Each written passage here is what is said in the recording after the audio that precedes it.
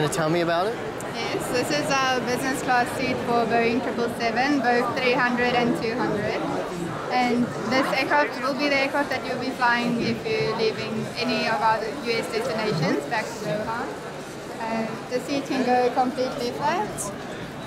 It also has a massage feature which you can control the intensity. Anytime if you wish to stop the movement of the chair you can just press any button.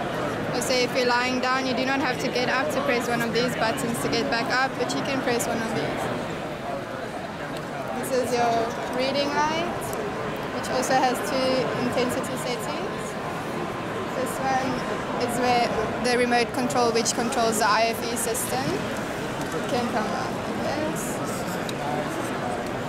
And we have a USB port there, also the headset connects to there.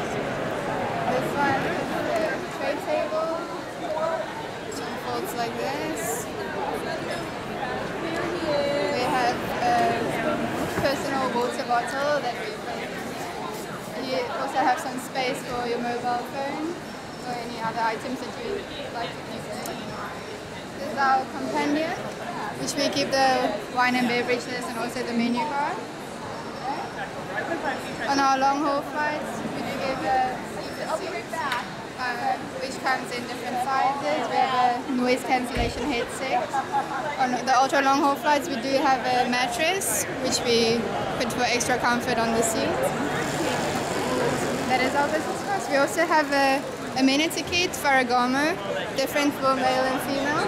This is our male uh, amenity kit. Comfort pouch, which has your um, ear, uh, earplugs, uh, the eye shades, and Socks. Socks, uh, yeah. Okay, that's our seat.